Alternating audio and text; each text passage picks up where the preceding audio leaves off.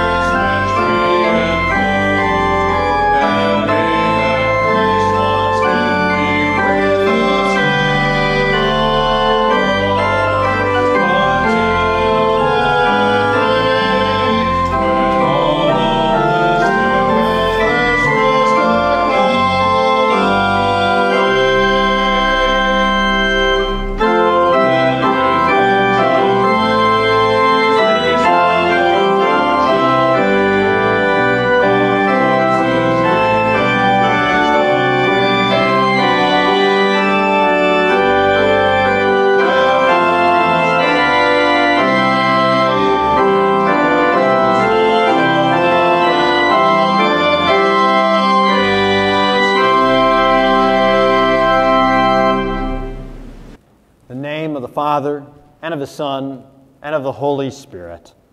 Amen. Beloved in the Lord, let us draw near with a true heart and confess our sins unto God our Father, beseeching Him in the name of our Lord Jesus Christ to grant us forgiveness. Our hope is in the name of the Lord, who made heaven and earth. I said, I will confess my transgressions unto the Lord and you forgave the iniquity of my sin.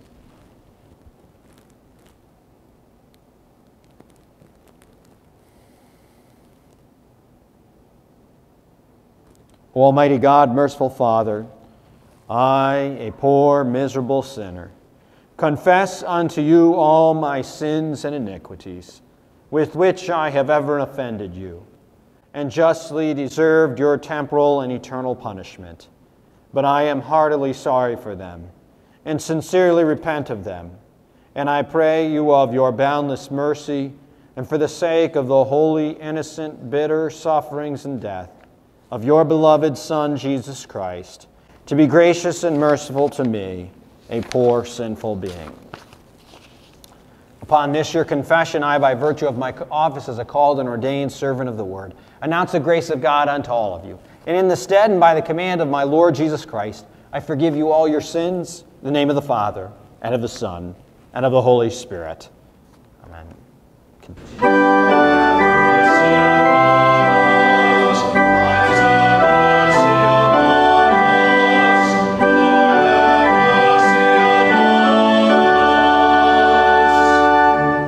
The Lord be with you.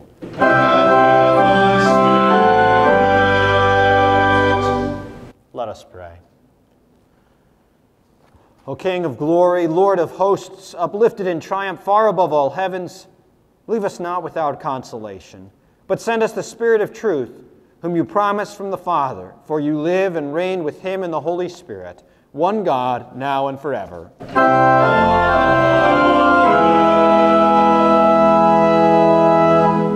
Our first reading and the basis for our message is from Acts chapter 1. Then the apostles returned to Jerusalem from the mount called Olivet, which is near Jerusalem, a Sabbath day journey away. And when they had entered, they went up to the upper rooms where they were staying Peter and John and James and Andrew, Philip and Thomas, Bartholomew and Matthew, James, son of the son of Alphaeus, and Simon the Zealot, and Judas, the son of James. All these, with one accord, were devoting themselves to prayer, together with the women and Mary, the mother of Jesus, and his brothers. In those days, Peter stood up among the brothers, the company of persons was in all about 120, and said, Brothers, the scriptures had to be fulfilled, which the Holy Spirit spoke beforehand by the mouth of David concerning Judas, who became a guide to those who arrested Jesus. For he was numbered among us and was allotted his share in this ministry. Now, this man bought a field with the reward of his wickedness, and falling headlong, he burst open in the middle, and his bowels gushed out and it became known to all the inhabitants of Jerusalem, so that the field was called in their own language Akeldama, that is, the field of blood. For it is written in the book of Psalms, May his camp become desolate, and let there be no one to dwell in it, and let another take his office. So one of the men who have accompanied us during all the time that the Lord Jesus went in and out among us, beginning from the baptism of John until the day when he was taken up from us, one of these men must become with us a witness to his resurrection. And they put forward two Joseph called Barsabbas, who was also called Justus, and Matthias. And they prayed and said, You, Lord, who know the hearts of all, show us which one of these two you have chosen to take the place in this ministry and apostleship, from which Judas turned aside to go his own, to his own place. And they cast lots for them, and the lot fell on Matthias, and he was numbered with the eleven apostles. This is the word of the Lord. Thanks be to God. The epistle lesson is from 1 Peter. Beloved, do not be surprised at the fiery trial when it comes upon you to test you, as though something strange were happening to you. But rejoice insofar as you share Christ's sufferings, that you may also rejoice and be glad when his glory is revealed. For if you are insulted for the name of Christ, you are blessed, because the Spirit of glory and God rests upon you. But let none of you suffer as a murderer, or a thief, or an evildoer, or as a meddler. Yet if anyone suffers as a Christian, let him not be ashamed, but let him glorify God in that name. For it is time for judgment to begin at the household of God, and if it begins with us, What will be the outcome for those who do not obey the gospel of God? And if the righteous is scarcely saved, what will become of the ungodly and the sinner? Therefore, that let those who suffer according to God's will entrust their souls to a faithful Creator while doing good. Humble yourselves, therefore, under the mighty hand of God, so that at the proper time he may exalt you, casting all your anxieties on him, because he cares for you. Be sober minded, be watchful. Your adversary, the devil, prowls around like a roaring lion seeking someone to devour. Resist him, firm in your faith, knowing that the same kinds of sufferings are being experienced by your brotherhood throughout the world. And after you have suffered a little while, the God of all grace, who has called you to his eternal glory in Christ, will himself restore, confirm, strengthen, and establish you. To him be the dominion forever and ever. Amen. This is the word of the Lord. Thanks be to God. The Holy Gospel according to St. John, the 17th chapter.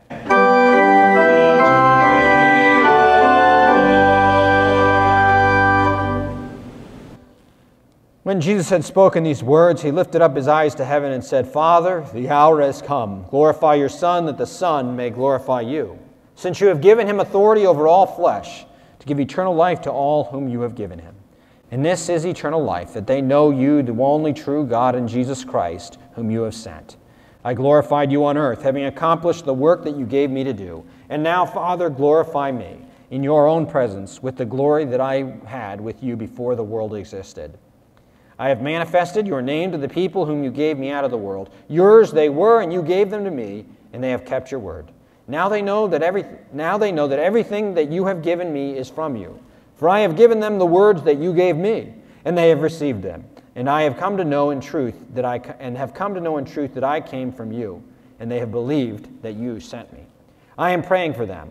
I am not praying for the world, but for these whom you have given me, for they are yours. All mine are yours, and yours are mine, and I am glorified in them. And I am no longer in the world, but they are in the world, and I am coming to you. Holy Father, keep them in your name, which you have given me, that they may be one, even as we are one. This is the gospel of the Lord.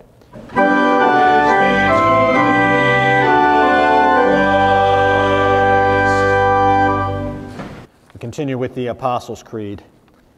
I believe in one God the Father Almighty, maker of heaven and earth, and in Jesus Christ, his only Son, our Lord, who was conceived by the Holy Spirit, born of the Virgin Mary, suffered under Pontius Pilate was crucified, died, and was buried.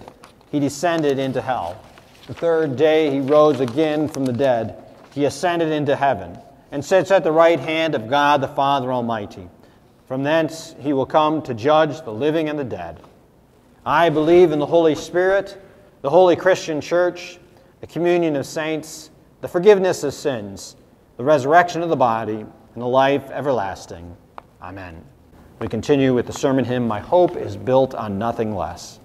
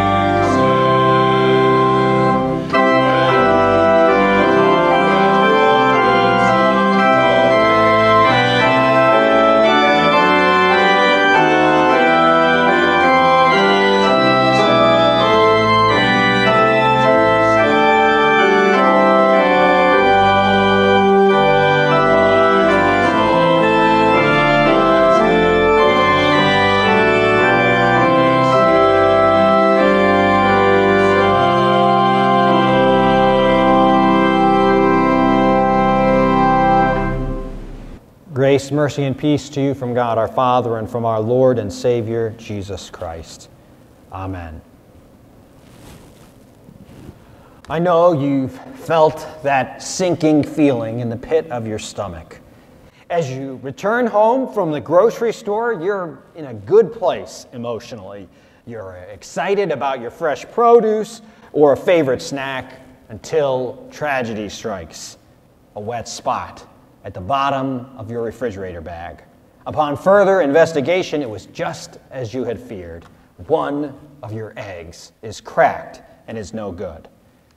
Even though that egg cost you less than two dimes, your disappointment feels much more significant. You were supposed to be coming home with a dozen eggs, and now you're left with only 11. Something is missing, and now your good grocery vibes are disrupted, and the trip seems like a failure. Well, if that's how you about eggs, imagine how the Holy Spirit felt when he ended up with only 11 disciples instead of the original dozen. Although I guess since it's the Holy Spirit, the analogy might be something more like this. The Holy Spirit wisely checked his eggs before purchasing, and when he found one of the original 12 all cracked and he went and replaced that broken disciple with a new one. Okay, so maybe that's a bit more cavalier of an attitude than God had about the 12 apostles, but the same basic principle still applies. Just like you're supposed to have 12 good eggs when you go to the grocery store, you're supposed to have 12 good apostles when you restart Israel. But what's with the number 12, right? Now, I don't know why exactly God originally picked 12, but it, 12 is clearly a very important and significant number for God's people. Uh, here's some simple proof. People interpret Revelations in a stunning variety of ways. But almost everyone agrees that the number 12 means something specific. It means it's symbolic of fullness and completeness. You can find that for Lutherans, Catholics, uh, Baptists, all kinds of people agree on that. The number 12 is, after all, really significant in the Old Testament. When, consider this, when the God of Abraham, Isaac, and Jacob was making a new nation, the family became a true nation when there were 12 sons of Jacob. It kind of makes sense from a numbers perspective. Could you really call Isaac uh, one son, uh, an Abramite? Or when you, Isaac had Jacob and Esau, could you, could you really call a couple of bickering twins the Isaac nation? Seems like a bit of a stretch. However, once you can field a full football team plus a kicker, well, that's another story. Nowadays, a family of five kids seems big. A family of 12 could be referred to as a new nation without too much hyperbole. Thereafter, the uh, promise of the people of God would describe themselves as the, the promised people of God would describe themselves as Israelites, further designating themselves one of the tribes of Israel. When a census is taken, it's by tribes. Your, uh, when even in Israel's civil war, the split happened along tribal lines. And that's why Jesus chose 12 disciples in large part. Ever since that civil war, the split between the 10 northern tribes and the two southern tribes, the once proud nation had been splintered and incomplete. Now, blame could be laid on both sides, including some poor leadership by the grandson of King David, Rehoboam of the southern kingdom, uh, the two tribes, with However, the divorce was clearly outside God's will. And while both sides had done wrong, it also is quite clear that the northern tribe, the kingdom of Israel, has fallen further from the path than Judah because they refused to worship where God told them to. They came up with their own ideas instead of following the clear instructions of the Lord. You see, they feared it would be bad for them politically even though it was a direct violation of God's command to only worship in the temple. This sad blight on Israel's history was made even worse uh, when the nor- 10 northern tribes got so far away from Yahweh that he did not step in to save them when the brutal Assyrian Empire decimated and deported the 10 northern tribes. When this took place around 722 BC, the 10 northern tribes, they were, they were basically erased from history.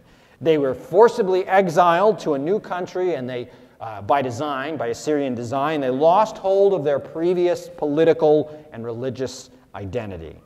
Uh, you know how disappointing it is to have one bad egg in a dozen, but this now is like opening the egg carton and having 10 bad eggs and two barely salvageable eggs left. Uh, I bring that all up because it's the key to answering the question why 12 apostles? There had originally been 12 tribes, but by Jesus' day, tragically, there were no descendants of the 10 northern tribes left. Or even if there were some descendants left, they probably were scattered throughout the world, they no longer had any idea that they were descended from Israel, and it certainly wasn't important to them anymore. The plan, you see, had gone terribly wrong. I imagine Abraham asking Yahweh, I thought you said I'd be the father of many nations, but there's barely one tribe left. Plus, they are regularly persecuted and dominated. They deserve it, I know, but still, I thought you promised. What gives? Well, Jesus demonstrates uh, the answer. God's promise to Abraham was good, but first uh, the plan had to fail uh, so that the world could realize it would only come through God's power and grace, not through man's effort. Jesus teaches that identity as God's people is no longer based on lineage, but on repentance and trust. Twelve apostles symbolizes that God is bringing those that divorced people, those ten tribes who had been separated, He's bringing them back together. His plan is finally coming to fruition. Uh, there's enough consistency with what is happening to recognize that this is God's people. Um, the, the, this is not some new plan, even if it is a New Testament. That's a key difference. It's, it's not a new plan, even if it is a new phase in the plan. It's the second and the permanent half of God's plan. It's the same God who was the God of Abraham, Isaac, and Jacob. It's the same Savior who was with the children of Israel in the wilderness, who led the 12 tribes into the promised land.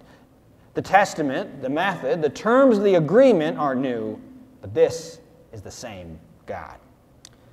Although it's certainly a new thing, it's not at all inconsistent with what he's done before for Israel. Not just in the number 12, but in the whole character, the values, the compassion that are all still there. However, it, it is more, version 2.0. And since he's dealing with human beings, now we're getting to Judas finally, there's bound to be some resistance.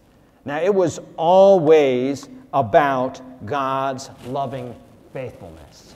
Um, repeatedly, Yahweh says that the reason he's done all this is not because Israel is inherently better than anyone else. Rather, it's simply God's plan of salvation. God is faithful to his promises to his people long after his people have stopped being faithful to him. And so God tells them in Deuteronomy chapter 26 uh, when they first harvest their crops from the promised land, the Israelites are instructed to offer a sacrifice of thanksgiving, and they're told, they're given a liturgy, you might say, of what to say. They remember how God rescued them from Egypt by saying, and here's a, an expert, uh, excerpt, I can't pronounce that. My father was a wandering Aramean but the Lord brought us out of Egypt with a mighty hand. You see, the emphasis is not upon how great Israel is, but God's plan of salvation depends upon Yahweh, not upon us. And that's why the replacement of Judas is good news. In fact, it's wonderful and amazing proof that God's new plan cannot be stopped. Don't, don't get distracted by the special effects and the gore. Remember what Judas did and represented. He betrayed Jesus and attempted to do undo everything Jesus stood for. He had handed Jesus over to death. He was instrumental in helping Jesus' enemies, who attempted to destroy and did manage to kill Jesus. But Acts chapter 1 points something simple out. Judas is dead, but Jesus is not. Judas's plans fell apart, but the Holy Spirit, his plans are still moving forward.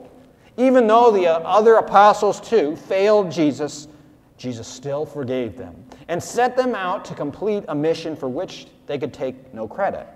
God's plan of salvation outlasts opposition and circumstances. It's more resilient than our faltering lips and imperfect faithfulness. There, will 12, there were 12 tribes, and so there will be 12 apostles. Even though God's own people sometimes rebel and threaten God's plan, as Judas did, God will still see to the care of his greater people. His plan of salvation can't be stopped. Judas is replaced because God's plan is too big to be left unattended to. The new people of God will be completed. I, I heard a song on way over here, uh, a, a, contemporary praise song about God's going to get the victory. Uh, uh, it says something like, uh, "The battle belongs to the Lord," and uh, you take, you take what the enemy meant for evil and you turn it to good. Well, Judas and this new, this new apostleship is exactly uh, an example, a prime example of that. Judas and the enemies of God's people have this grand plan, but God uses it for his plan of salvation. And that's why you and I are still here today. Not because of us. No human being, no human good decision, not even if we were to betray or step away from the faith, would God's plan stop. God will always ensure that His message, that you, His people, that His plan of salvation will continue.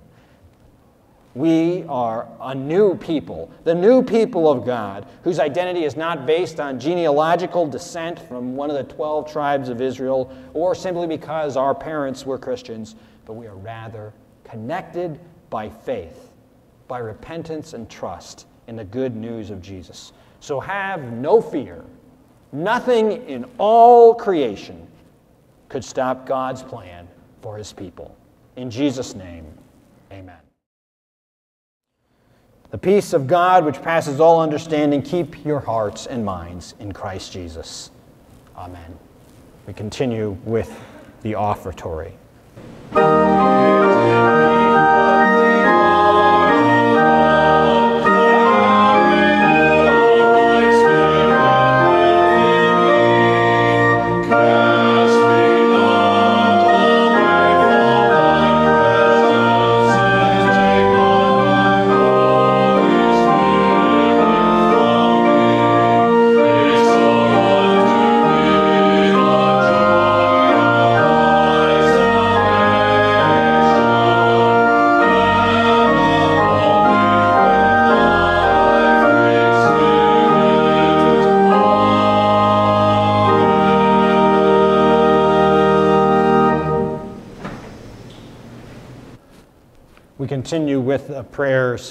The church. Heavenly Father, we thank you that your plans do indeed take place regardless of what happens around us, and we hold on to that and remember that in the midst of, of uh, all that goes on in the world around us. Uh, we thank you that you are taking care of us wherever we are, whatever happens. We pray that uh, you would be with us at Grace Lutheran Church and as we reopen, and we pray that you should be with churches uh, around the U.S., as many are uh, considering reopening. And Lord, we pray that you would help us to give a, a, a, bold and faithful witness. And also, Lord, we pray that you would help us to be um, conscientious and responsible, uh, and uh, at least as at least as careful and considerate of others as the world around us, so that we might give a witness um, not only that we care about life, but uh, that uh, connecting to you is essential uh, to our well being. Uh, we pray that you watch over us in all our decisions and actions as a congregation as we go forward. Um, and uh, we, we pray that you watch over all individuals too, all the members of Grace, and uh, that you would strengthen them and help them as they make decisions. And Lord, we, we, we pray that you would help us support them um, whatever the decision may be, whether it be to continually worshiping at home, which is probably the right choice for some individuals uh, or worshiping in person. Lord, we pray that you help us to stay united and to be supporting one another as we find our support in you, our Lord and Savior.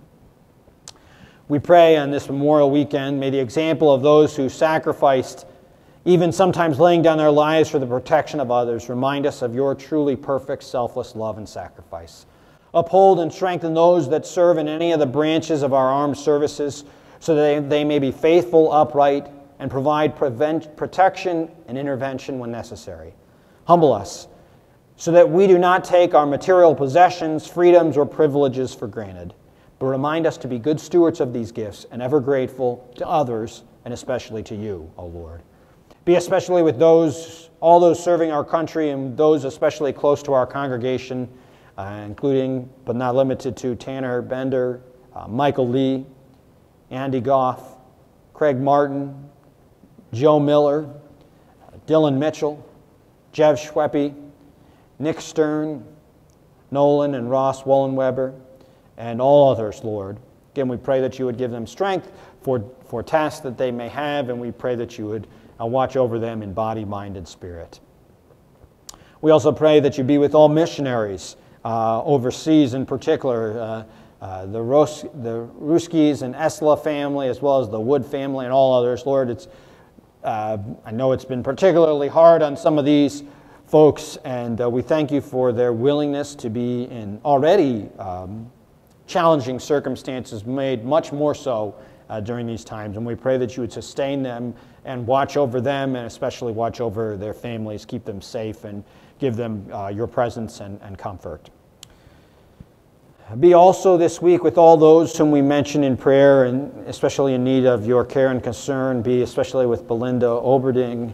Uh, we pray that you be also with uh, Krista Bredehoft, Ruth Thomas, um, Billy Beinkemper, Elaine Cheesebrew, Dave and Linda Isley, Becky Cannonberg, Linda McCabe, Terry McCabe, Nancy Niehaus, Donna Nimmo, Lester Rampage, Ken Ross, Hugh Schaefer, uh, Rita Sohn, Becky Stamper, David Stamper, Ruth Thomas, and Clyde Wollenweber and Esther Goldfuss.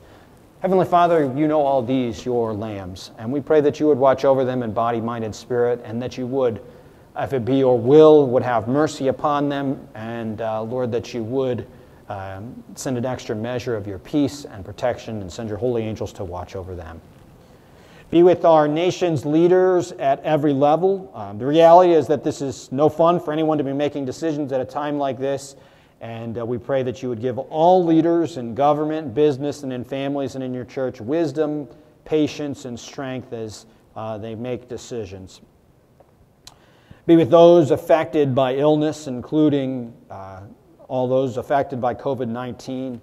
Give comfort to those who are ill and send your presence to those who have lost loved ones. We pray for your help and mercy.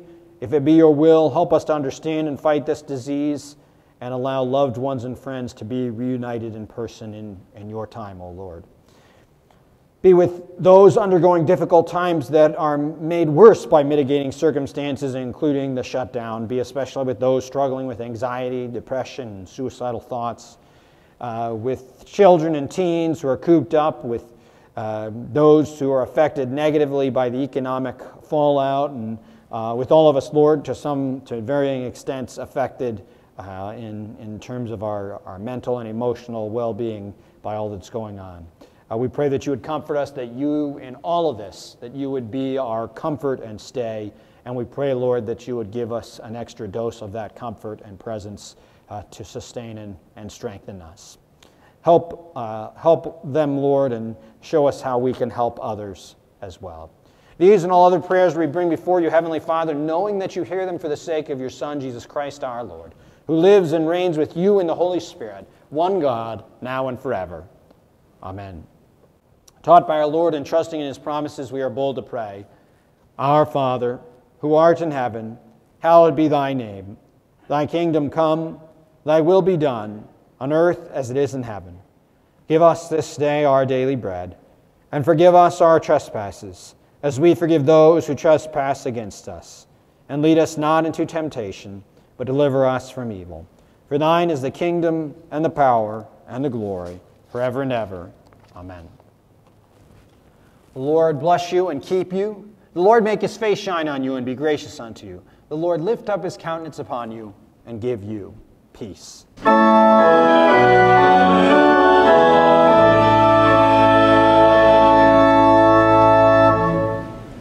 We continue with our closing hymn, God of Grace and God of Glory.